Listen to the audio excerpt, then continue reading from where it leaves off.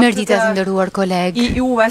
Pas takimit të udhëheqësve të Ballkanit Perëndimor dhe Bashkimit Evropian kam kënaqësinë që të prezantoj kryeministrin e Shqipërisë, Edi Rama, kryeministrin e Maqedonisë së Veriut, zotin Dimitër Kovaçevski dhe presidentin e Republikës së Serbisë, Aleksandar Vuçiç. Do të keni mundësi që të drejtoni pyetje për secilin udhëheqës, tre për secilin përpara pasi të mbarojnë fjalimin e tyre. Zoti Kovaçevski, fjala është për ju. Faleminderit. Për median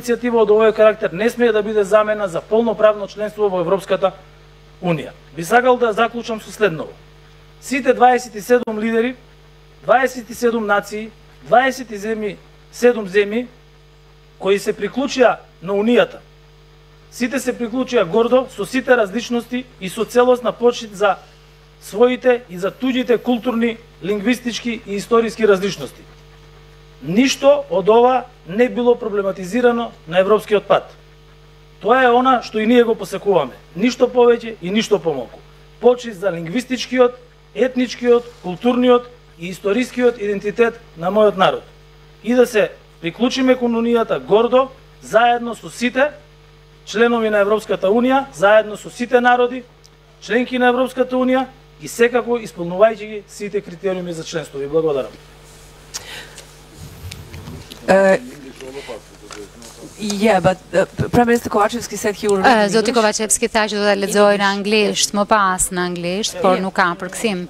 Do të vazhdoj tashmë në anglisht, mund ta bëj në anglisht, duke qenë se nuk ka përkthim.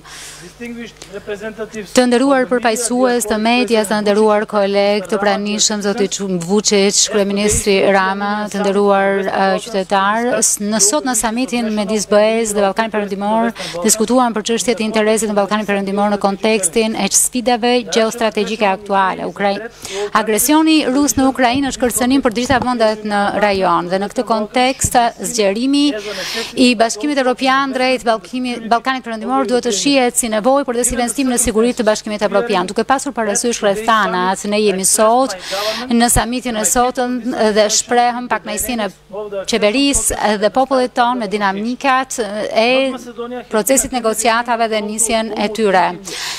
Ka thuajse tetëmbëdhjetë vjet që Maqedonia e Veriut është kandidate, e kemi nënshkruar MSA-në njëzet vjet më parë, ndërkohë që në dy mijë e njëzetën Këshilli Evropian mori vendim për nisjen pa kushte të negociatave me Maqedoninë e Veriut dhe Bashkimin Evropian. Por jemi sot këtu dhe ende s'kanë filluar negociata. Do të flas drejtpërdrejt. Çfarë ka ndodhur tani është një problem serioz dhe një goditje serioze e besueshmërisë së Bashkimit Evropian. Po humbasim kohë të çmuar që nuk e kemi në dispozicion. Po shprehem tani që vendi im, Maqedonia e Veriut dhe Republika e Shqipërisë, por po kështu edhe rajoni, nuk mund të jetë i ngecur në këtë situatë sepse një vend i vetëm nuk bashkërendon e sigurohet për zhbllokimin e rrugëtimit evropian për ne. Nuk duhet të lejojmë çështjet dypalëshe që të shndërrohen në problem shumëpalësh. Maqedonia e Veriut është një vend i cili njihet si një vend i cili menaxhon përmes dialogut të hapur të gjithë çështje të nxehta e të rëndësishme. Njihemi si vend që është i angazhuar për të gjetur zgjidhje të pranueshme të ndërsjella bazuar në vlerat europiane dhe në dinjitetin e qytetarëve të saj. Me të njëjtën ide ne kemi hyrë në procesin e negociatave me Bullgarinë, me ndershmëri dhe dëshirën për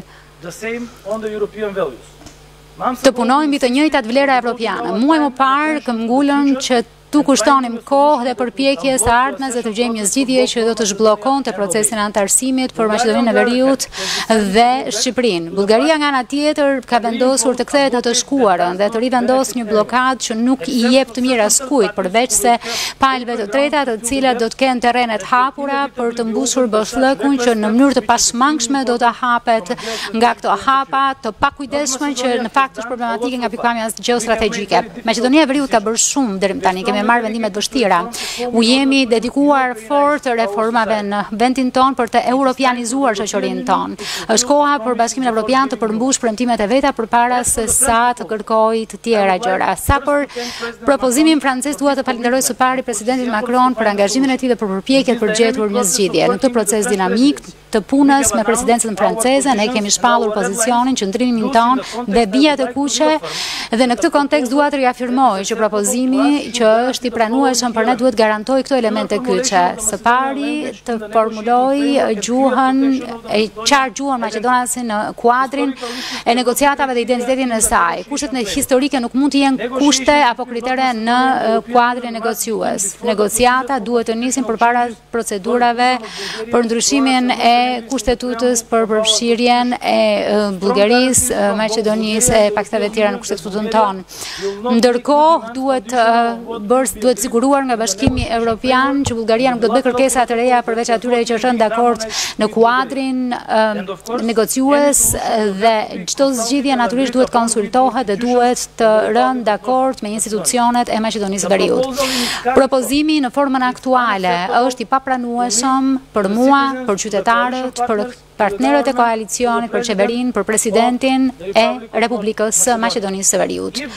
Në qoftë se gjatë presidencës franceze Arrihet një mirëkuptim për pozicionin tonë, jemi të gatshëm që në mënyrë aktive të marrim pjesë në proces për të nisur negociatat. Dua që të përfitoj nga ky rast për t'u thënë qytetarëve të Maqedonisë së Veriut se ata duhet të jenë në paqe dhe ju siguroj që gjithmonë kemi vendosur interesat dhe objektivat strategjike të shtetit përpara dhe askush nuk mund të imponojë një zgjidhje pa mirëkuptimin tonë, ne kemi bërë gjithçka, tashmë i takon lëvizja bashkimit evropian. Ndërkohë, Maqedonia e Veriut, Shqipëria dhe Serbia do të fillojnë në mënyrë aktive e praktike të zbatojnë katër liritë e bashkimit evropian, do të europianizojmë shoqëritë tona, do të përmirësojmë cilësinë e jetesës së qytetarëve tanë përmes nismës Ballkani i Hapur. Më lini të jemi të qartë, Ballkani i Hapur nuk është zëvendësues për BE-në, por është konteksti që do të na duhet për t'u bashkuar me familjen e bas Bashkimit Evropian si një proces i përshpejtuar i integrimit evropian. Sot ne dëgjuam nismën e presidentit Macron për ngritjen e një platforme për dialogje dhe vendime politike në një komunitet të ri politik Evropian që do të jetë me vlerë për gjithë kontinentin.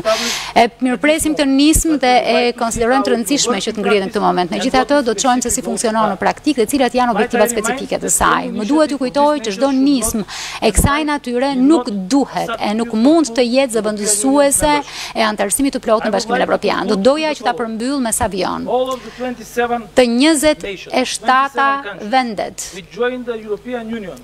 të cilat kanë hyrë në Bashkimin Evropian, kanë hyrë në mënyrë krenare me gjithë larminë e tyre dhe me respektim të plotë të kulturës gjuhësore, historike të gjithsecilit prej tyre. Asnjë prej këtyre çështjeve nuk u diskutua në rrugëtimin e 27 vendeve anëtare drejt Bashkimit Evropian. Kjo është ajo çfarë duam, asgjë më shumë, asgjë më pak, vetëm respekt për Cultural, historical identity, Identitetin gjuhësor, etnik, kulturor, historik të qytetarëve të mi dhe të anëtarësohemi në mënyrë krenare në Union ashtu siç kanë bërë anëtarët e tjerë më parë. Në fakt, rrugëtimet tona kanë qenë shumë të vështira, më shumë sesa gjithkush tjetër. Qytetarët tanë kanë kaluar gjithë sakrificat, të gjitha reformat dhe ne jemi gati të bashkohemi në familje ashtu siç të gjithë e kanë bërë deri më tani në respekt të plotë midis njëri-tjetrit. Faleminderit. Faleminderit kryeministër Kovaçevski, i kërkoj kryeministrit të Shqipërisë Edi Rama të mbajë fjalën e tij. Zoti Rama, fjala është për ju. Faleminderit shumë. Thank you everyone. Faleminderit të gjithëve. For being here with us. Që jeni këtu me ne. Let me express. Dhe më lini të shpreh. Deep uh, sorrow for. Keqardhjen e thellë për Bashkimin Evropian. Më vjen keq për ta. Dhe shpresoj që të mund t'i ndihmojmë.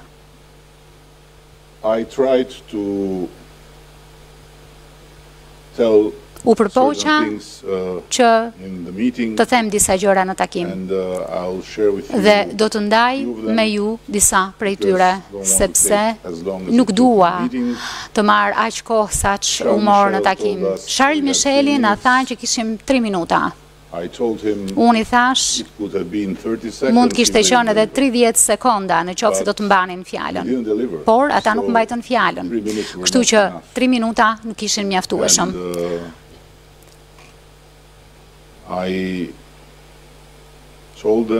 U thashë,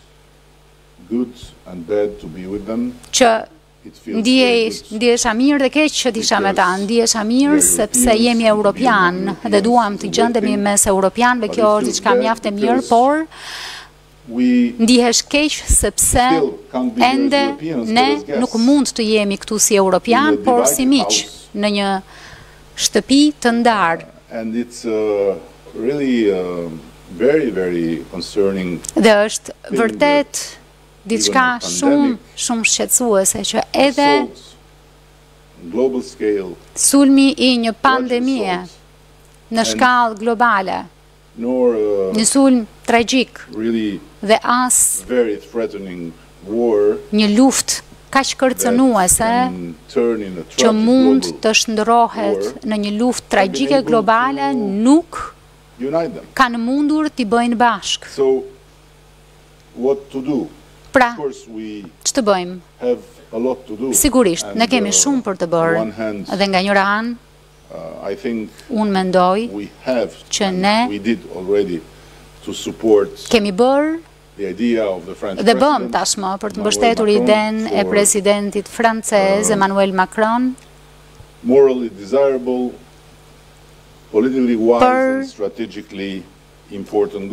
Një objektiv që është politik e strategjik i dëshiruar moralisht që është komuniteti i ri politik europian. Dhe natyrisht, ndërkohë që ne do të vazhdojmë në rrugëtimin tonë drejt anëtarësimit me shpresën që shekullin tjetër do të jemi anëtarë dhe sigurisht duke u përballur me një Bullgari këtu, një Bullgari atje, një Bullgari të tretë po kështu gjatë rrugës. Ne do ta vlerësonim shumë. Shumë në qoftë se ky komunitet i ri politik i Europës ngrihet për të qenë bashkë në një shtëpi të përbashkët, si një familje e vetme. Pavarësisht se jemi në kate të ndryshme, por së paku në dhomën e ndenjes qëndrojmë së bashku. Jo kështu. Së dyti, Sigurisht, tema kryesore ishte Maqedonia e Veriut. Ishte Maqedonia një herë e një kohë.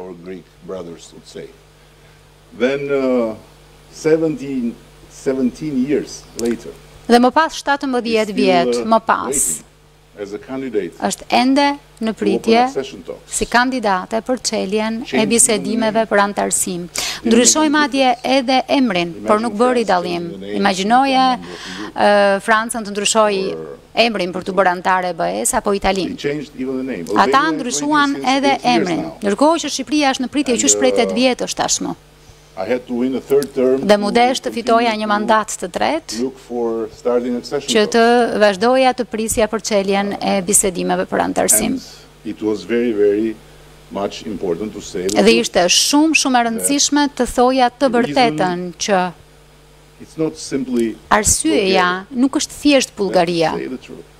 Le të themi të vërtetën. Bullgaria është një fatkeqësi, por nuk është vetëm Bullgaria.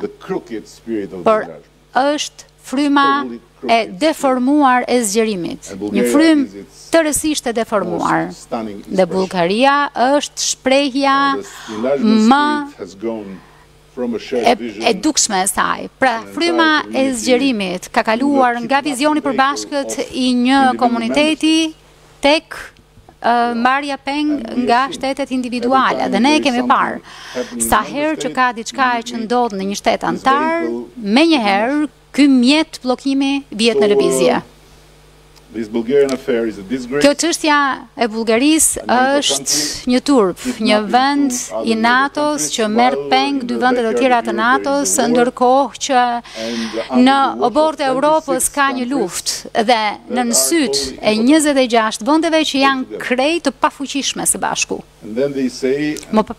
E më pas thonë, dhe në fakt po ju them atë çfarë ju thashë, që Vladimir Putini është shumë sëmurë, ai mund të jetë sëmurë, mund të jetë shumë mirë, por Ky vendi këtu sigurisht nuk duket shumë i shëndetshëm. Agresioni rus kundër Ukrainës po merr kështu një ndihmë mjaft bujare e të pakërkuar nga një vend i NATO-s, Bullgaria. Për të destabilizuar një vend tjetër të NATO-s, Maqedoninë e Veriut dhe për të fryrë më tej mllefin, pakënaqësinë në një fqinjësi si e jona, që është një hallkë e dobët në të gjithë këtë situatë. Ne nuk do të presim Godonë, sigurisht. Unë e kam thënë më parë, I felt so sorry for some optimist people yesterday. Më vinte kaq keq për ca njerëz optimistë dje që nisën të shkruanin në Twitter po, po ia dalim. Jo. And uh, I didn't jo. Here with the idea that Nuk erdha këtu me idenë që do të ndodhte diçka. Jo. Tek Godoja është shumë e qartë, Vladimiri dhe Estragoni, pra, Maqedonia e Veriut dhe Shqipëria janë së bashku, dhe Vladimiri i thotë Estragonit, a do të lëvizim? Dhe Estragoni thotë, po, le të lëvizim. Por është Samuel Beketi, Bashkimi Evropian që thotë askush të mos lëvizë, kështu që vazhdon kështu. Ndërkohë që ne kemi lëvizur e do të vazhdojmë të lëvizim për të ringjallur këtë frymë të Europës në pjesën tonë që është Berlini i procesit, kështu e quajmë Berlini i procesit për të ringjallur këtë frymë dhe nisma e Ballkanit të Hapur është nisma që kemi ndërmarrë për ta bërë Berlinin konkret në terren. Kam kërkuar mbështetje të plotë dhe pa ekuivok për Ballkanin e Hapur, sepse edhe për këtë janë të ndarë, a thua se do të jetojnë në Ballkan? E janë të ndarë edhe në raport me Ballkanin. Për çfarë bëjmë ne në hapësirën tonë? Megjithatë, natyrisht, dashamirës, janë, mos më keqkuptoni. Është një vend i mirë, janë njerëz shumë të mirë, fotot janë shumë të bukura këtu, fjalët janë të bukura, do të ishte edhe më bukur në qoftë se do të realizonin fjalët, por ne nuk jemi kaq të mirë në Ballkan dhe nuk do të heqim dorë, do të vazhdojmë. Dhe Një ditë do të bëhemi dhe ne anëtarë të mirë të BE-së, sigurisht. Përtej kësaj, nuk dua të marr më shumë kohë, po thjesht u shpreha dhe thashë dy gjëra të tjera shumë të rëndësishme. Ka një tjetër pengmarrje në proces, që është pengmarrja e qytetarëve të Kosovës, të cilët nuk lejohen të lëvizin lirisht në Europë.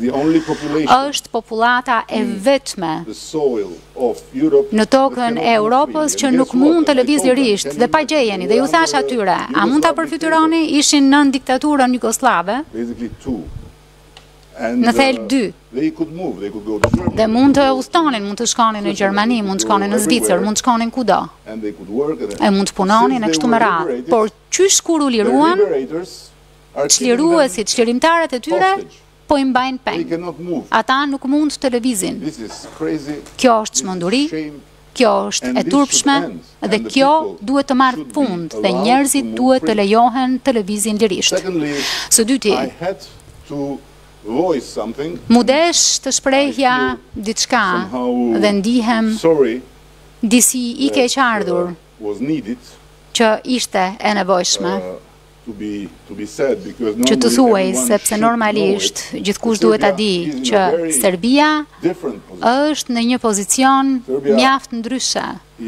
Serbia është një realitet tërësisht ndryshe. Dhe u përpoqa t'ju shpjegoj se flasim për një vend ku popullariteti i Vladimir Putinit është tetëdhjetë për qind dhe një vend ku opinioni publik nuk është kaq i prirur të vrapojë drejt Brukselit. Është krejt e kundërta, por është një vend i cili, jashtë çdo pritshmërie, edhe pritshmërisë sime, sepse sinqerisht nuk e prisja, dhe as nuk e telefonova Aleksandrin, sepse kisha frikë se do të më thoshte ndjesë, por, na duhet që të kalojmë në anën tjetër, dhe kjo do të kishte qenë fundi i çdo marrëdhënieje, dhe mendova që do të ishte, Problem, tri herë janë harmonizuar me Bashkimin Evropian dhe Perëndimin kundër Rusisë, duke votuar edhe për përjashtimin e Rusisë nga Komiteti për Drejtat e Njeriut. E kuptoj kërkesën për të ecur më përpara, por nuk e kuptoj Çuarjen e gjërave në kufi në raport me kërkesa për sanksione, e kam thënë në Tiranë, e kam thënë në Prishtinë, e kam thënë dhe këtu. Uh, Sepse Serbia thjesht nuk është në uh, pozicion për të realizuar kaq shumë kaq shpejt dhe çuarja deri në kufi do të japë efektin e kundërt dhe pastaj ajo çfarë do të ketë kosto është agjenda evropiane e Serbisë, por çfarë do të jetë më tepër, do të jetë kosto për popullin e rajonit, që është shumë shumë e qartë.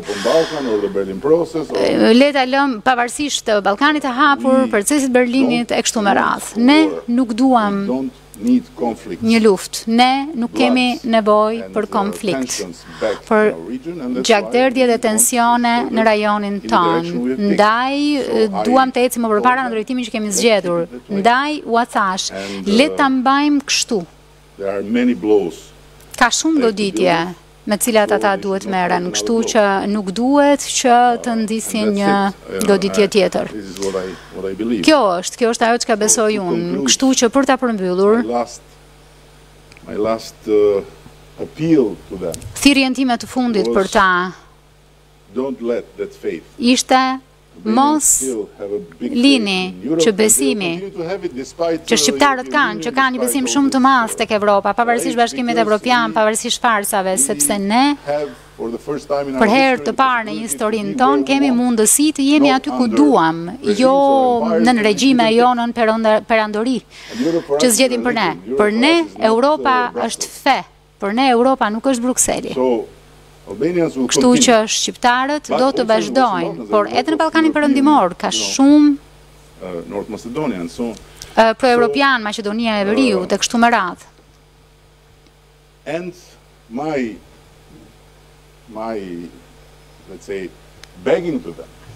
Lutja ime për ta ishte, ju lutemi, mos e lini BE-në të bëhet si një kongregacion priftërinjsh që diskutonin asokohe seksin e engjëjve, ndërkohë që muret e Kostandinopojës shembeshin.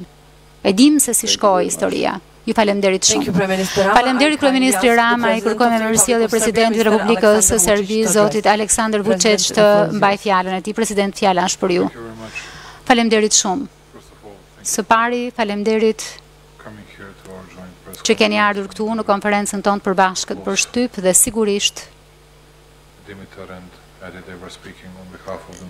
Edhe Dimitri dhe Edi folën në emër të tyre, megjithatë ne e kuptojmë njëri-tjetrin. Kur sot Serbia ishte mjaft mbështetëse për çeljen e procesit të negociatave me Maqedoninë e Veriut dhe me Shqipërinë. Edhe ashtu siç shumë vende ishin, fakt, por Edhe një herë asgjë nuk ndodhi. Unë besoj se miqtë tanë nga Shkupi dhe Tirana e meritonin që të merrnin nisjen e procesit të negociatave dhe mendoj që do ta marrin sa më shpejt të jetë e mundur. Dhe nuk është vetëm një kërkesë formale, një thirrje formale, por është diçka që është e nevojshme, sepse të dyja vendet kanë bërë gjithçka në përputhje me rregulloret europiane e kanë përmbushur të gjitha kërkesat dhe e meritojnë këtë, çka nënkupton që qytetarët e Maqedonisë së Veriut dhe Shqipërisë e meritojnë këtë. Më duhet të them diçka në një mënyrë më optimiste dhe diçka që do të konfirmoj edhe rrugëtimin tonë në BE, që nënkupton se në qoftë se bëhet një analizë e bashkëpunimit tonë me, bashk, me Bashkimin Evropian, mund të shihni që në këto katër muaj Serbia ka rritur shkëmbimet tregtare me Bashkimin Evropian me më shumë se 30%, nuk do ta besonit, që do të thotë Këtë vit do të arrijmë dyzet miliardë euro, që nuk është një vlerë kaq e vogël as për një fuqi kaq të madhe ekonomike siç është Bashkimi Evropian. Mund ta imagjinoni sa e madhe është kjo për një vend aq të vogël siç është Serbia. Më duhet të them që ne jemi mirënjohës thellësisht Charles Michelit, Ursula von der Leyen, Zotit Borrell, Komisioner Varheljit që na ka mbështetur të gjithëve në këtë rrugëtim drejt BE-së që ka vizituar vendet tona dhe në fakt u jam shumë mirënjohës sepse na kanë dëgjuar më shumë se sa 20 uh, udhëheqës të BE-së na kanë dëgjuar për 3-4 orë dhe ne i dëgjuam ata. Diskutuam Emmanuel Macrons. Gjithashtu edhe propozimin e Emmanuel Macronit për t'u pranuar nga të gjithë ne, që do të thotë krijimi i një komuniteti të ri politik europian. Pse e them këtë? Sepse është e vetmja mënyrë për ne që të dëgjohemi dhe është një mënyrë e mirë për ne që të dëgjojmë më shpesh kolegët tanë europianë dhe të njohim mënyrën se si ata mendojnë. Ishte për mua mjaft e dobishme si përfaqësues i Serbisë kjo.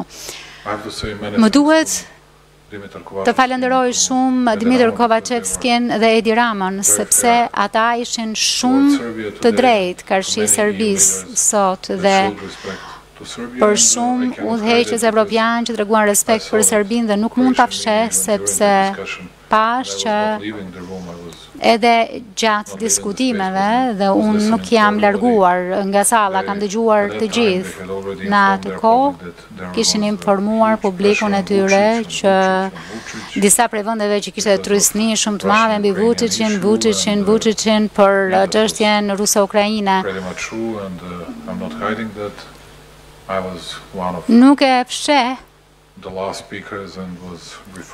Dhe unë isha një nga folësit e fundit që iu referova këtyre çështjeve dhe çështjeve të tjera. Megjithatë bëra një pyetje tjetër. Dhe dua të kujtoj, t'ju kujtoj diçka që ka ndodhur katër muajt e fundit, sipas të dhënave që kam marrë nga njerëzit e mi, nga shërbimet e mia, dy mijë e gjashtëqind e njëzet e nëntë, nëse nuk gabohem, artikuj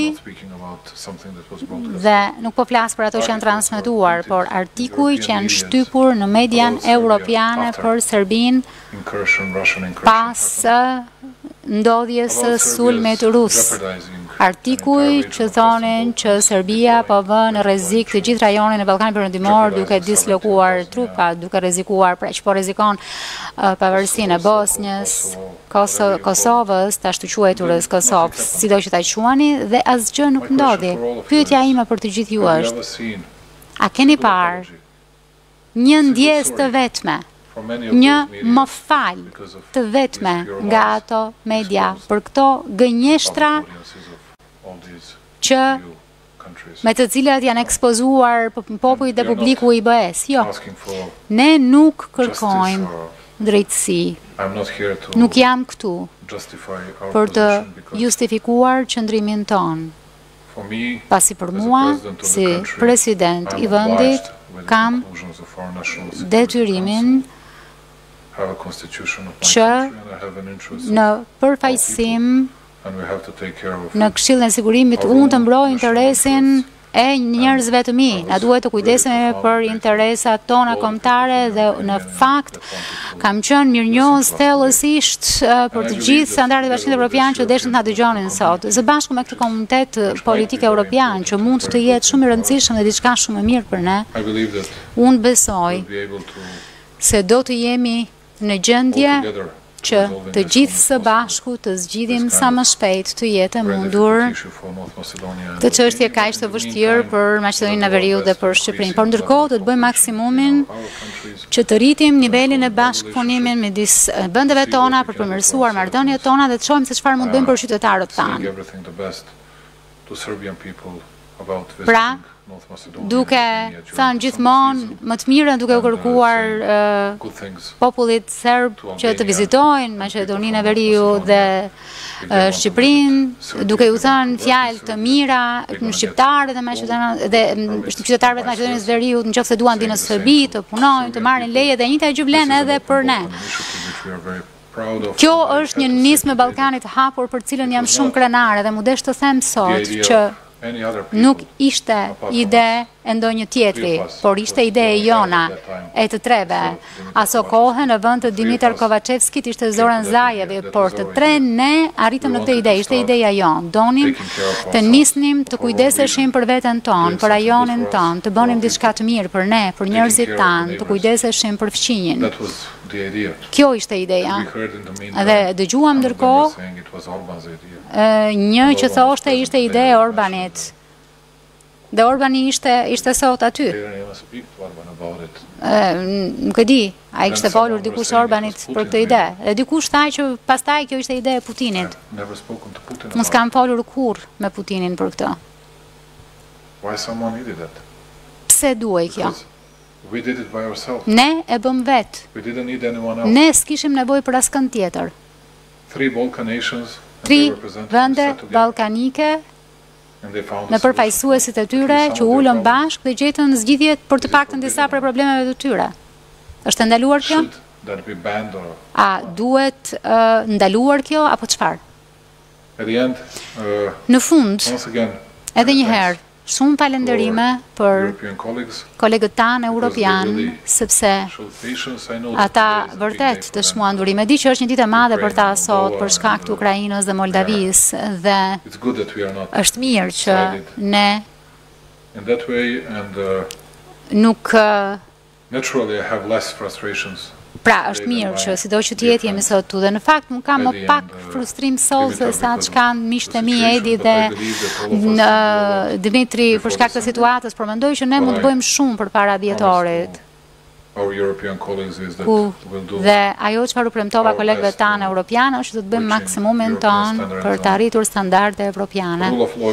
Për çështjet e sundimit të ligjit, demokratizimin e mëtejshëm, çështjet e medias dhe gjithçka tjetër deri në dhjetor të këtij viti dhe më pas besoj që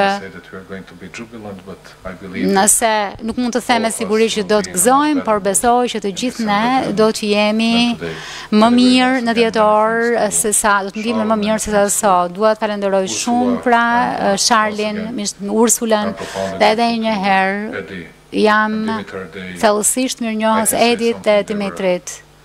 Dhe mund të them diçka Ata mbrojtën vendet e tyre dhe interesat e tyre kombëtare në mënyrë mjaft kurajoze. Dhe kjo është ajo çfarë doja të thoja e të pranoja për audiencën e tyre. Dhe në qoftë se them Shpresoj që ata të kuptojnë që po them të vërtetën. Faleminderit presidenti Vuçiç, tashmë të nderuar kolegë mund të nisim me pyetjet tuaja. Pyetja e parë shkon për Marina Maksimoviç nga Tanjug, nga Serbia. Marina, fjala është për ty. Faleminderit Marina Maksimoviç, Tanjug, Serbia. Presidenti Vuçiç, dëgjuam sot nga zyrtarët e BE-së që sot është dita e një vendimi historik për BE-në, por po kështu dëgjuam se Ballkani Perëndimor është përparësi për BE-në, a pati ndonjë vendim historik apo konkret për Ballkanin Perëndimor sot dhe aktualisht cili është mesazhi që mund të kuptojmë, që mund të dërgojmë, të dërgojmë Ballkanin Perëndimor nga Brukseli sot. Ju thatë që ju nuk kërkuat drejtësi, por a kishte ndonjë mesazh konkret që juve ju përcollët uh, Bashkimit Evropian? Pyetja tjetër është për kryeministrin Rama. Thatë që ndjeni keq për BE-në, ju vjen keq për BE-në. Po a jeni të zhgënjyer apo e keni tejkaluar tashmë situatën e zhgënjimit? Ajo është serbe, duhet të përgjigjesh së pari. Çdo gjë që thashë sot këtu, e thashë hapur dhe publikisht në praninë e zyrtarëve të BE-së. Nëse mund ta përkthej atë çfarë ishte e rëndësishme për ne sot, e në qoftë se e analizoni rezultatet konkrete për Ballkanin Perëndimor, nuk kishte rezultate konkrete, por ishte një diskutim i mirë dhe unë nuk e nënvlerësoj kurrë një gjë të tillë. Unë nuk do ta nënvlerësoja asnjëherë këtë, por nëse më pyesni në qoftë se Maqedonia e Veriut apo Shqipëria Morën një datë? Jo, nuk e morën. Nëse Prishtina mori liberalizimin e vizave? Jo, nuk e morën. Nëse Bosnja mori statusin kandidat? Jo, nuk e morën.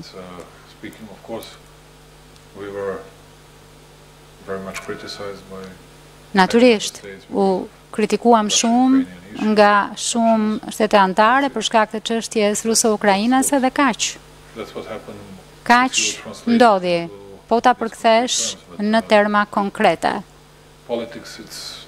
Megjithatë, politika nuk ka të bëjë gjithmonë me termat konkrete. Në fund, çdo gjë lidhet me rezultatet, por përpara saj është krijimi i atmosferës, është diskutimi i çështjeve, ka të bëjë me të dëgjuarit e njëri-tjetrit. Gjithashtu edhe ndërtimi i besimit dhe nga ky këndvështrim ishte një takim i mirë, ishte një samit i mirë. Kaq mund të them unë. Faleminderit. Më duhet të korrigjoj presidentin tuaj, siç bëra edhe me kryeministrin e Kroacisë, sepse Ai tha të njëjtën gjë, që unë isha i uh, frustruar. Dhe i thashë, nuk jam. Thjesht më vjen keq për BE-n. Dhe sigurisht, në këtë drejtim jam i frustruar, i frustruar për Bashkimin Evropian. Nuk është sekret që unë në fakt e kam më për zemër Bashkimin Evropian sesa Aleksandri. Në Shqipëri, shqiptarët janë të atashuar në mënyrë religjioze me Bashkimin Evropian. Pra të shohësh Bashkimin Evropian që është i paaftë të çlirojë dy pengje si Shqipëria dhe Maqedonia e Veriut nga Bullgaria, natyrisht nuk lë një mbresë të mirë dhe në këtë drejtim po. Ishte një ditë historike. Po historike në sensin negativ. Pra për sa Ka të bëjë me Ballkanin Perëndimor. Natyrisht, patëm fjalët më të mrekullueshme për ne. Përgëzime! Dhe të gjithë, për të qenë shumë të sinqertë dhe për të qenë mjaft të respektueshëm, të gjithë thanë që ndiheshin shumë keq që nuk po realizonin, e thanë. disa me më shumë e theksuan më shumë, disa të tjerë më pak, megjithatë asnjë prej tyre nuk mbeti pa thënë që ndiheshin keq për Bashkimin Evropian, jo për ne. Uh, rregull? Kështu që nga ana tjetër, ne do të vazhdojmë, nuk ka asnjë dyshim. I told I think I told you in Ohrid. Mendoj që në Ohër ju thashë që në fillim, disa vjet më parë, datat e takimeve të Këshillit Europian uh, was uh, like uh, became more important than the date of my ishin më të rëndësishme edhe se uh, dita ime e lindjes, sepse ishte gjithmonë qershor, fundi qershorit, ndërsa ditëlindja ime është dita e pavarësisë. Kështu që unë e gjeta më në fund pavarësinë time për të mos të menduar më se kur takohen këta njerëz. Janë njerëz shumë të mirë dhe ne jemi shumë të lumtur që gjendemi këtu me ta sigurisht. Socializojmë me ta. Por në fund të fundit ata kanë një problem të madh. Ata kanë një problem shumë më të madh sesa ne, meqë ra fjala. Sepse Ju duhet të kenë përgjegjësi shumë më të mëdha. Kështu që jo, thjesht mendoj që do të arrijmë aty. Kjo është e uh, sigurt. Me shpresë përpara shekullit tjetër, po shekullin tjetër, kjo është e sigurt. Çështja është që të bëjmë punën tonë, të vazhdojmë të kryejmë reformat tona, të vazhdojmë të jemi në pozitën ku të thonë ata që është faji i tyre dhe jo faji jonë. Kaq mund të bëjmë dhe t'i bëjmë vendet tona dhe flas për Shqipërinë tashmë, një vend ku njerëzit të ndihen mirë dhe të ndihen si një vend me standarde të BE-së. Rregull? Kjo është pikëpamja ime për këtë. Nuk prisja asgjë tjetër, më besoni, asgjë tjetër nga ajo që mora këtu. Asgjë tjetër. Njëqind për qind, asnjë surprizë. Asnjë gjë. Kishte pak shpresë dje, po e paralajmërova se ishte shumë. Në fakt, e kam të shkruar. Lexoni Twitterin tim dhe mos e lexoni te propaganda serbe, po lexojeni në gjuhën angleze. Thank you. Da. It's what I say to them when they speak to me. Kjo është ajo çfarë u them kur flasim bashkë, është një gjuhë kaq e çuditshme që kanë, prandaj edhe luftojnë për gjuhën. Por ne është një gjuhë që askush nuk pretendon se e njeh.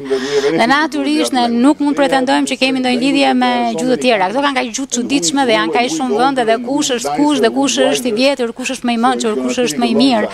Do të kërkojë shumë kohë. Pres me padurim kur Kroacia të fillojë e të ketë ndonjë gjë të thotë për Serbinë. Mund të bëhet Bullgaria jonë. Megjithatë kjo është shaka. Shpresoj që nuk do të ndodhë siç ndodhi me opozitën e Maqedonisë Veriore, që mori atë çfarë thashë për Bullgarinë Perëndimore si fyerje. Dhe videoja ndërkohë ishte prerë sepse unë thashë kryeministri i Bullgarisë së ardhshme Perëndimore dhe i Shqipërisë së ardhshme Lindore, sepse natyrisht kanë kërkuar që të gjitha këto vende të bëjnë kaq përpjekje të ndryshojnë emrin. Megjithatë, kjo ishte diçka për t'u thënë në mënyrë diçka e pakëndshme për t'u thënë për Bullgarinë dhe për Bashkimin Evropian, jo për Maqedoninë e Veriut, por kur je një opozitë jo e mençur atëherë je i destinuar të rrish në opozitë. Kështu që le të rrinë, le të gjejnë ndonjë mençuri gjatë rrugës. Tanja Milanski pyetja e dytë nga agjencia MIA e Maqedonisë. Tanja fjala është për ju nga Maqedonia e Veriut.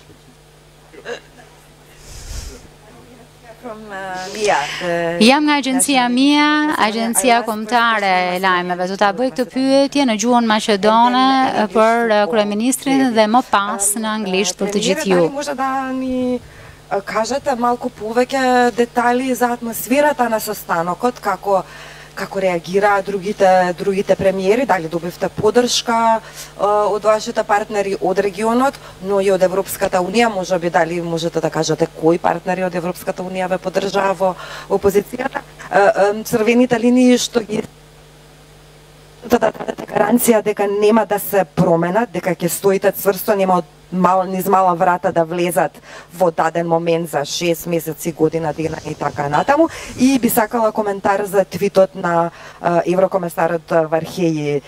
Deneska kako što reče deka site baranja na Bugarija se vlezeni vo vo pregovaračkiot proces. Bi sakala da go komentirate toa and then a question to all three of you. Një pyetje për të tre ju.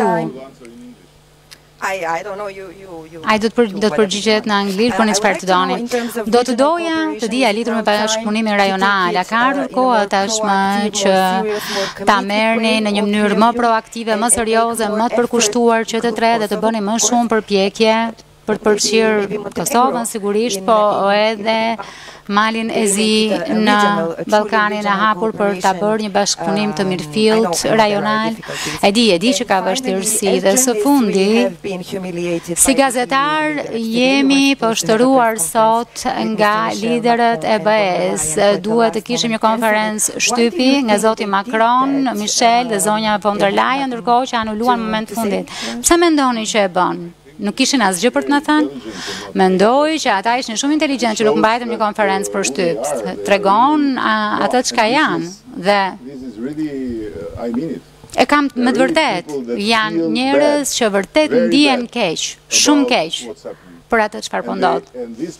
Dhe këta njerëz që përmendët, kanë bërë të gjitha përpjekjet, të gjitha përpjekjet, të gjitha përpjekjet, por ka diçka të deformuar në mekanizmin e Bashkimit Evropian, kështu që ndjesë, zoti president. Faleminderit për pyetjen. Në fakt për Twitterin nuk e përdor shpesh, sidomos kur jam në takime, kështu që nuk e kam parë këtë postimin në Twitter që po përmendni. Kështu që do të duhet të më pyesni më vonë për të marrë përgjigje apo të pyesni komisionerin. që e ka bërë postimin në Twitter se çfarë do të thotë me të.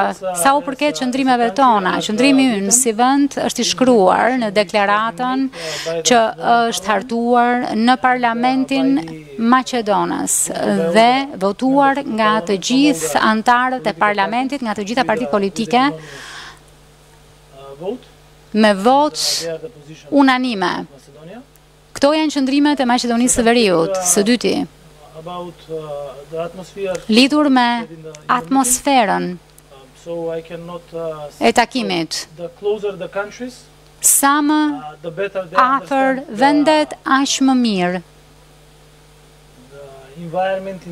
e kuptojnë mjedisin në të cilin zhvillohen disa bisedime dhe aq më njohuri të thelluara kanë në raport me çështjet që janë në lojë, por më duhet të them që diskutimi ishte konstruktiv.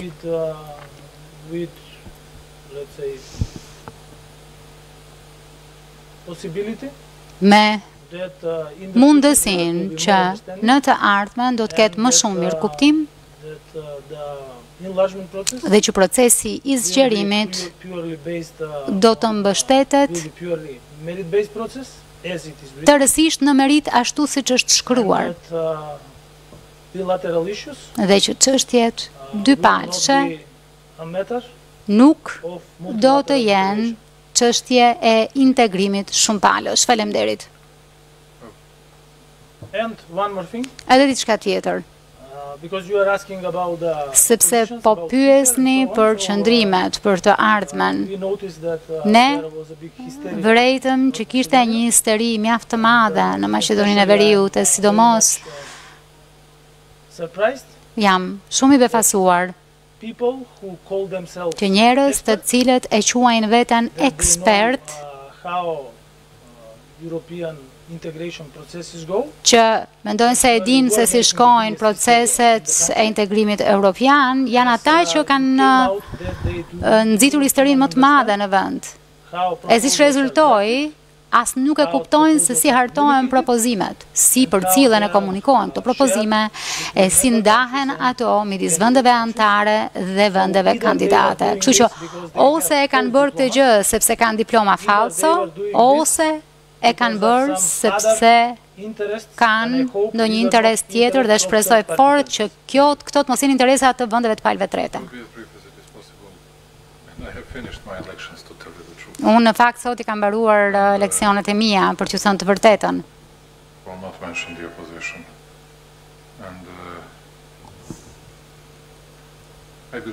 Unë besoj që e ardhmja është në duart tona, në qoftë se bëjmë shumë, në qoftë se punojmë fort, në qoftë se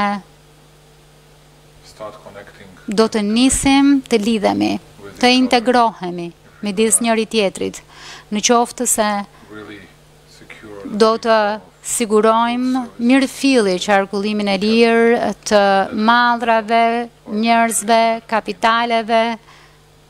Kjo do të do të thotë shumë për vendet tona, për popujt tanë. Kjo është ajo çfarë duhet të bëjmë, të përshpejtojmë proceset, duhet të punojmë fort.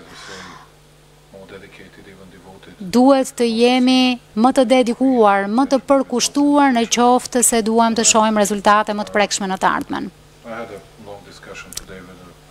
Pata një diskutim të gjatë sot me presidentin francez për gati një orë edhe me kryeministrin austriak dhe besoj se Ballkani Perëndimor ka të ardhme evropiane, por çështja është që vërtet ka shumë për t'u bërë nga ne. Por kjo që ndodhi me Maqedoninë e Veriut dhe me Shqipërinë ishte vërtet e padrejtë, ishte krejt e padrejtë ndaj tyre. Shpresoj vetëm që të gjithë ne do të jemi në gjendje të tejkalojmë këto vështirësi, por ndërkohë Nuk mund të qajmë mbi vete e nuk mund të bërtasim, sepse edhe në qoftë se të gjithë do të na dëgjojë ne apo ata nuk do të ndryshojë asgjë. Na duhet të punojmë, na duhet të vazhdojmë me ndryshimin e vetvetes dhe me krijimin e një mjedisi më të mirë, e standarde më të mira jetese, si dhe për përmirësimin e të gjitha çështjeve përfshi drejtësinë, gjyqësorin, demokratizimin, të gjitha çështjeve të tjera. Faleminderit. Pyetje lidhur me bashkëpunimin rajonal. Përmendët apo përdorët fjalën a do të bëhet një bashkëpunim vërtet rajonal? Më duhet t'ju them që Ballkani i Hapur është bashkëpunimi, mekanizmi i parë vërtet rajonal i bashkëpunimit. Pse e them këtë? Sepse po prodhon rezultate për njerëzit, për fermerët, për tregtarët, po prodhon rezultate në të gjitha fushat diku janë më të dukshme, diku janë më pak të dukshme, por po prodhon rezultate. Dhe në qoftë se doni të kontroloni duke qenë se Ballkani nuk është vendi i Jezu Krishtit, është i Shën Thomait. Ne nuk besojmë po s'vumë dorën në plagë. Pra shkoni vetë në kufi dhe shihni ndryshimin. Në qoftë se kaloni nëpër kufijtë e Ballkanit të hapur, ka një korridor të gjelbër. dhe nuk ka asnjë sekondë pritje për kamionët, për mallrat, për prodhimet bujqësore, për qumështin. Ndërkohë që nëse e çon qumështin në vende që s'janë në Ballkanin e Hapur, kur mbërrin është bërë kos. Ky është ndryshimi. Unë nuk shoh se cila është arsyeja që të bëhet kaq zhurmë për të. Nga ana tjetër, e kemi përsëritur qindra herë, është një tryezë e hapur për këdo, për të gjashta vendet. Aleksandri e quajti e ashtuquajtura Kosovë, unë e quaj Kosovë dhe pikë. Por kjo nuk na ndalon të punojmë së bashku. Imagjinojeni sikur ne Të luftonim, të ziheshim me njëri-tjetrin. Ç'vend do të kishte qenë Ballkani sot? Mirë, pra, ky është një projekt, siç Ali Ahmeti e ka thënë më mirë se sa unë, sepse provoi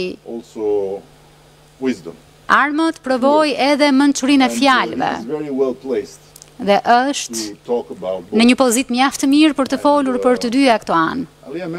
Ali Ahmeti e thotë shumë thjesht, Ne nuk duam një gjakderdhje tjetër dhe një luftë tjetër dhe duam që të mbajmë sa më larg të jetë e mundur çdo fantazmë që mund të vijë në këtë rajon nga e shkuara apo nga e tashmja. Është kaq e thjeshtë. E kam thënë dhe e përmbyll këtu, nuk duhet të jetë Problemi i Qeverisë së Kosovës për të ardhur, duhet të kishte qenë problemi i Presidentit të Serbisë për të pranuar, kaq. Unë ndihem i privilegjuar të kem mundësinë të punoj për vendin tim përmes këtij mekanizmi dhe për të nxitur këtë bashkëpunim i cili do të sjellë edhe paqe. Paqen, kjo paqe përfundimtare që kërkojmë, do të vijë përmes Ballkanit të hapur, mos i harroni fjalët e mia, nuk do të vijë përmes tensioneve, apo përmes helikopterëve që vijnë vërdallë, apo përmes bërtitmave në Facebook. Kjo është kaq e thjeshtë. Dua ta them edhe një fjali të fundit që nuk ka shumë rëndësi, por ende, do ta them. Kemi ftuar deri më tani qindra herë të gjithë të tjerët. Kurdo dhe sa herë që e bëjmë, e bëjmë për hir dhe në përfitim të popujve tanë, le të themi shtatëdhjetë për qind e popujve të Ballkanit. Sepse gjithmonë ka pasur këtë pyetje, Ku janë të tjerët, apo ku ishin të tjerët? Dhe sigurisht, kemi pasur trysni nga shumë vende të fuqishme dhe nga udhëheqësit e tyre për llojin e nismës, për natyrën e nismës dhe për shumë gjëra të tjera. Por ne po bëhemi gjithmonë më të fortë sepse filluam të besojmë te kjo. Ne nisëm të besojmë te vetja. Kemi një vetëbesim më të madh sot se ç'kishim më parë dhe e dimë që duhet të mbajmë paqe dhe qetësi në rajon. Kjo është ajo për të cilën ka nevojë, kemi nevojë të gjithë ne, kjo është ajo çfarë dimë. Thjesht hidhini një sy, një dite luftimesh, në luftën e Ukrainës sot. Doni ta shihni sërish këtë në Ballkan? Unë nuk dua. Ndaj, ju lutem, kjo është kërkesa ime më e madhe. Mos e nënvlerësoni. Mos e nënvlerësoni nismën tonë, sepse sjell vendet bashkë dhe ka edhe njerëz këtu në nga perëndimi pas takimit të dy liderve të Jugosllavisë dhe Shqipërisë në 1946 na u deshën 70 vjet para sesa udhëheqësit e Serbisë dhe të Shqipërisë të takoheshin sërish përpara sesa ne të takoheshim ka pasur fjalë Zënka tërë kohën, por siç mund ta shihni, ne mund të diskutojmë për për gjithçka, mund të bashkëpunojmë në mënyrën e duhur, por kjo nuk është një gjë që është e mirë vetëm për të dy ne, por është diçka që është shumë e mirë për popujt tanë, për vendet tona. Kjo është ajo tek e cila besojmë dhe askush nuk mund ta thyejë këtë. Nuk mund të thoni që ai më rekrutoi dhe prandaj po punojmë kaq mirë sepse unë jam aset serb siç të gjithë e dinë në territoret shqiptare. Në rregull, s'ka problem. Atëherë shkojmë tek televizioni Klan. Jo, kemi edhe një gazetar francez, kemi një gazetare shqiptare, më pas franceze dhe kaq. Për dy arsye në fakt, e para mos të keqinterpretohem nga propaganda serbe, edhe e dyta sot ndihem më e sigurt në shqip pas refuzimit në anglisht që morëm sërish. Zoti Rama, ju e prekët pak, por desha të ishit më specifik. Po thoni që është një justifikim, vetoja bullgare për bashkimin europian ka një nxitje për t'u vendosur nga nga Bullgaria kjo veto për Maqedoninë e Veriut dhe rrjedhimisht për ne dhe hapi tjetër kush do të jetë. Keni deklaruar që do të vazhdoni të kërkoni ndarjen, do ta lini bashkëvuajtësin tonë Maqedoninë e Veriut vetëm në këtë rrugë dhe pyetja e fundit ju lutem. Uh, pse zoti Vuçiç është këtu me me me ju? Vendimi sot pritej vetëm për Maqedoninë e Veriut dhe për ne. Pse u unifikua vendimi edhe për të ardhur këtu edhe për dalë në një konferencë përbashkë? Faleminderit.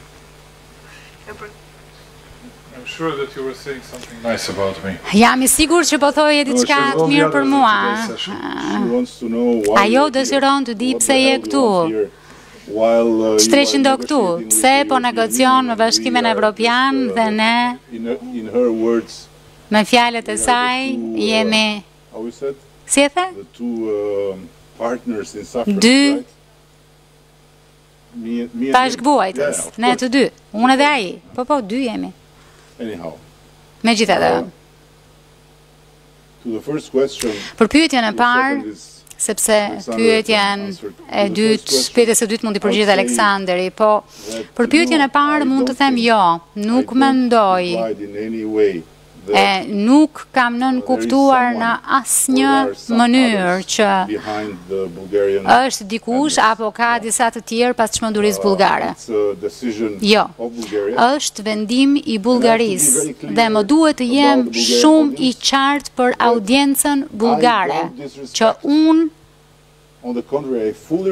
nuk është se nuk e respektoj, Respektoj në të kundërt çdo shqetësim që ata kanë, por jam tërësisht jo dakord dhe Në fakt nuk jam absolutisht dakord me mënyrën se si ata po e bëjnë këtë gjë, duke marrë peng një vend anëtar të NATO-s, në fakt dy. Ky është argumenti im. Maqedonia e Veriut nuk po hyn në Bashkimin Evropian, nuk po bëhet anëtare nesër, javës tjetër, kështu që ka kaq shumë kohë për ta zgjidhur këtë çështje. Dhe procesi se si këta njerëz në këtë ndërtesë e kanë formësuar është kaq shumë me kthesa, me labirinte, me kurthe. Në çdo cep mund të gjesh një kurth që të ndal. Kështu që Bullgaria mund ta përdorë këtë për dekada të tëra. Pse kjo?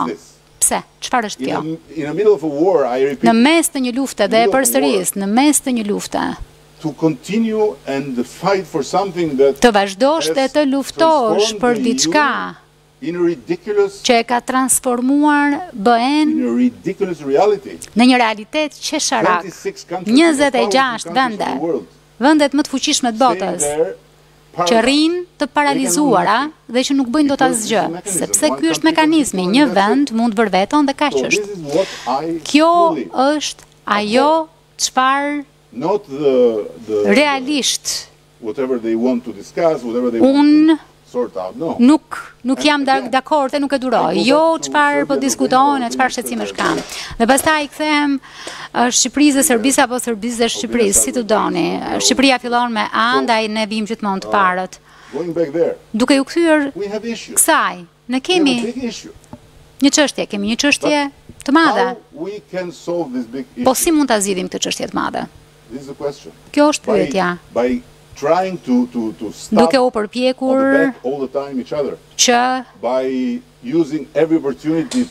të sulmojmë njëri-tjetrin çdo kohë në kuriz, pas kurizit apo që sulmojmë njëri-tjetrin në përballë njerëzve dhe opinionit botëror apo të bëjmë ato që shumë vende të tjera dhe ka shumë shembuj Të asaj çfarë vendet kanë bërë pas konflikteve të tmerrshme dhe praktikisht pas kësaj kanë gëzuar prosperitet për breza të tërë, pra ia dolën me sukses të kuptonin që çështjet janë të zgjidhshme. Pra kjo është mënyra se si e mendoj unë dhe sërish, jo. Më duhet të them, Të gjithë personat që përmendi Aleksandri, nga Sharl Misheli, te Emanuel Makroni, te Ursula, te Komisioneri, te Boreli, tek Olaf Sholci, tek Mario Dragi, mund t'i përmend të gjithë, nuk gjej dot një prej tyre që sot nuk u ndje shumë keq. Nuk mund të gjej as kënd dhe Mark Rutte ju e njihni Mark Rutten Mark Rutte shkoi në Sofje dhe sot mbajti një nga fjalët e tij më brilante. Pra nuk mund të them që dikush po fshihet.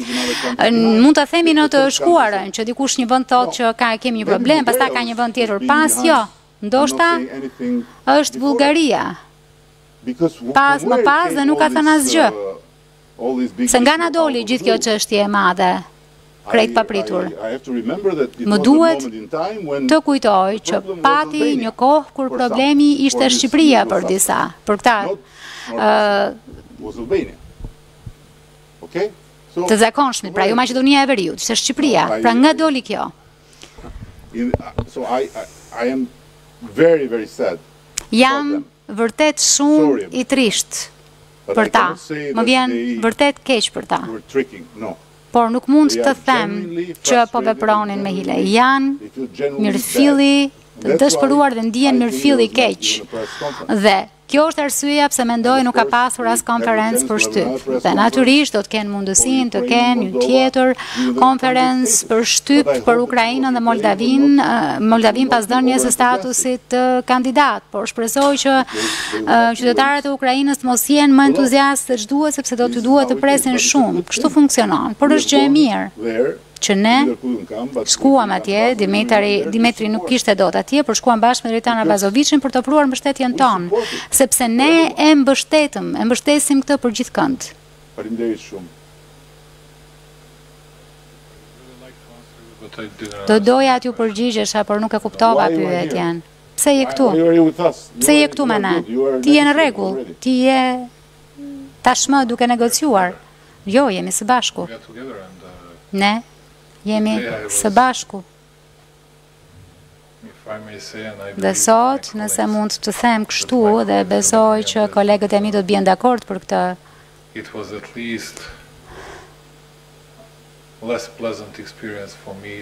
ishte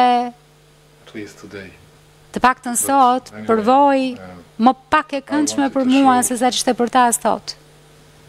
Megjithatë, doja që të dëshmoja angazhimin, dedikimin dhe mbështetjen tonë për Shqipërinë dhe Maqedoninë e Veriut. Dhe ata donin të ndanin të njëjtat fjalë me mua dhe mund të them që ishin të dobishëm Edhe për Serbinë këto diskutime, dhe këtë është, kjo është ajo çfarë bëjnë fqinjët e mirë, dhe këtë bëjmë edhe ne. Nuk është një detyrim formal i Serbisë për të qenë mbështetëse për ca çështje për Shqipërinë apo për Maqedoninë e Veriut, nuk e kemi të shkruar në kushtetutë. Por kjo është bërë diçka natyrale. Është bërë diçka që ndodh rregullisht dhe diçka për të cilën ne jemi krenare për të qenë, krenar për të qenë në mbështetje të fqinjëve tanë. We'll see during the winter season. Do të shohim gjatë sezonit të dimrit se kush do të jetë i pari që do të mbështetë vendet tuaja dhe presim së pari e mbi të gjitha ndihmë e asistencë nga vendet fqinje. Kjo është ajo çka është normale, kjo është çka është e drejtë. Kjo është çfarë është një sjellje dinjitoze dhe e sjellshme. Do doja të shtoja diçka tjetër për të. Të tre ne gjendemi këtu sepse kështu do të jetë.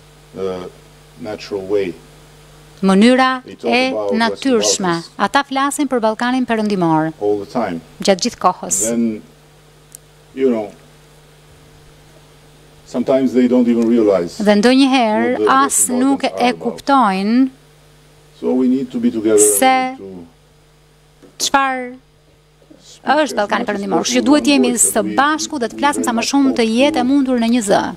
Dhe shpresojmë fort që të jemi të gjithë ne. Vetëm një fjali, Edi, mund ta përmbyllësh.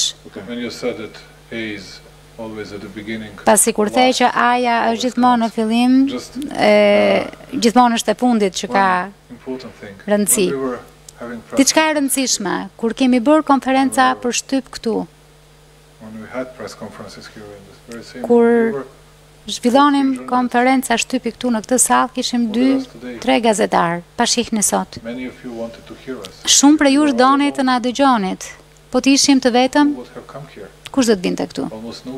Thuajse askush. Përveç dy, tri mediave nga shtetet tona. Pra, kjo është nga pikëpamja praktike, racionale, pragmatike, që të shihemi si përfaqësues të Ballkanit Perëndimor. Dhe sot kemi diskutuar çështjet e Ballkanit Perëndimor, jo çështje të tjera. Kjo është arsyeja pse ndihemi mirë kur jemi këtu së bashku. Gjithashtu peshuam edhe vendimin e mundshëm për të mos ardhur aspak, sepse e dinim. E dinim Çfarë do të na priste si rezultat dhe arsyeja pse erdhëm ishte thjesht për të respektuar të gjithë këta njerëz e të gjitha këto vende që janë në situatë të vështirë. dhe për t'i mbështetur ata. Doja të isha këtu për t'i mbështetur këto vende. Sepse, individualisht, ata s'ka nevojë për mbështetjen tonë, por si Bashkim Evropian janë lëmsh. Kjo është. Dhe në fakt është shumë e rëndësishme që të themi gjërat e vërteta siç janë për Ballkanin Perëndimor. Është shumë shumë e rëndësishme. Pyetja e fundit është për agjencinë CNews për gazetarin Harold Hyman. Um, Do të më duhet të uh, largohem uh, uh, pasi bëj pyetjen sepse kam punë. Do të më duhet të largohem për 5 minuta. dhe nuk do të doja të isha i pasjellshëm e të mos dëgjoja përgjigjen sepse kam një jetë. Po mund të largohesh tani ta dërgoj me WhatsApp përgjigjen. Um No, no, no, no. But I'll, I'll be filled in. Por do të më thonë, patjetër. Lufta ruse në Ukrainë a e ka bërë më të komplikuar për ju të tre situatën për shkak të rritjes së nacionalizmit dhe për shkak të kësaj lufte? Duket se po hyn në shumë parti politike. Përgjigja është shumë e shkurtër, jo. Kjo luftë, po flas për veten, ka sjellë më shumë energji dhe më shumë bindje tashmë që ajo çfarë po bënim është gjëja e duhur për t'u bërë. Më ka bërë mua shumë më të vetëdijshëm madje se ajo për të cilën flisja më parë si një kërcënim teorik nuk është më kërcënim teorik. Dhe shpresoj që Edhe ata që takuam sot ta shohin në të njëjtën mënyrë. Kemi folur për këtë e atë, por ishte më teorike, tani është reale, është e vërtetë dhe na duhet të jemi sa më afër e sa më afër dhe të udhëheqim përmes shembullit e t'u tregojmë të tjerëve që kjo është rruga ku duhet ecur dhe për të mirëpritur dhe për të përqafuar të gjithë ata që duan të bëhen pjesë. Kaq. Mund t'ikësh. It's okay. Okay, good. Mirë. Thank you. Faleminderit. I just believe something different in this because it brought a lot of problems ah. to Serbia. Mendoj, ah, besoj edhe diçka më ndryshe këtu sepse ka sjell shumë probleme për Serbinë, por do të bëj maksimumin që ta zgjidhim, por na duhet që T'i mbijetojmë kësaj situate dhe pastaj të bëjmë gjithë analizën. Më zhgënjeve, nuk i përgjigjesh asnjëherë, një gazetari serb që largohet nga salla dhe i përgjigjesh një francezi, kjo nuk është gjë e mirë. Mirë, falemderit. Falemderit të dashur kolegë, falemderit që morët pjesë në konferencën për shtyp të uh, tri udhëheqësve. Kaq ishte e gjitha për sot, falemderit.